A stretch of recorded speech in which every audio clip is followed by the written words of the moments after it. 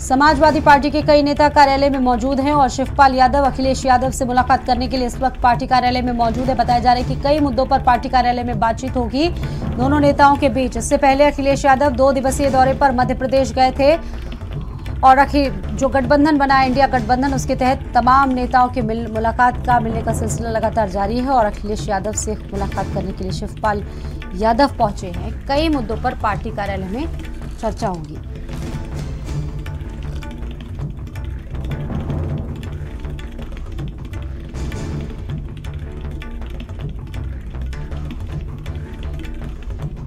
Samajwadi party के कई नेता और कार्यकर्ता भी इस कार्यक्रम में, कार्यालय में मौजूद हैं।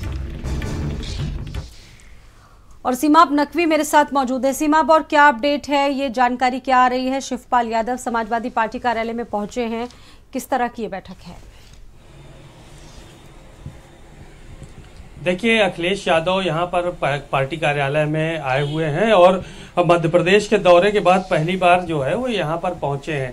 तमाम नेता उनसे मिलने के लिए पहुँचे हैं क्योंकि शिवपाल यादव भी अभी थोड़ी देर पहले उनसे मिलने के लिए यहाँ पर पहुँचे हैं। ये माना जा रहा है 2024 की जो तैयारियाँ हैं उनको लेकर अखिलेश यादव लगातार बैठकें कर रहे हैं अपने नेताओं से चर्चा कर रहे हैं और जो मध्य प्रदेश का दौरा था उन सब चीज़ों की जानकारी भी अखिलेश यादव आज शिवपाल यादव के बीच जो बात चल रही है उसमें देंगे कि वहाँ का क्या माहौल है इंडिया गठबंधन में उनको कितनी सीटें मिल सकती हैं और 2024 में जो है वो किस तरह से समाजवादी पार्टी चुनाव लड़ेगी, कैसे आगे आएगी? तो इन सब चीज़ों को लेकर अभी फ़िलहाल चर्चा चल रही है।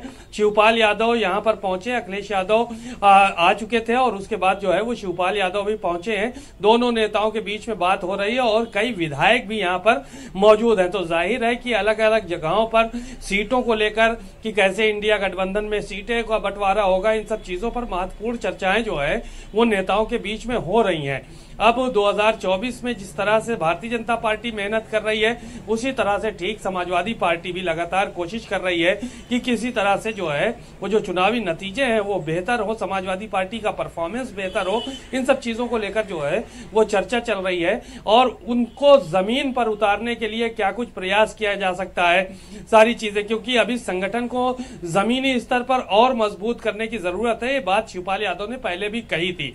अब उसको इम्प्लीमेंट जो तमाम योजनाएँ बनाई जा रही हैं, उनका कैसे किया जाएगा? कैसे जमीनी स्तर पर सारी चीज़ें पहुंचाई जाएँगी। तो इनको लेकर भी मंथन किया जा रहा है। बहरहाल दोनों नेता पार्टी कार्यालय के अंदर मौजूद है और मुलाकात के बाद शिवपाल यादव फिर निकलेंगे यहाँ से। धन्यवाद सीमा आपका जानकारी देने के लिए। प्रधानमंत्री नरेंद्र मोदी ने ट्वीट किया है, यूपी के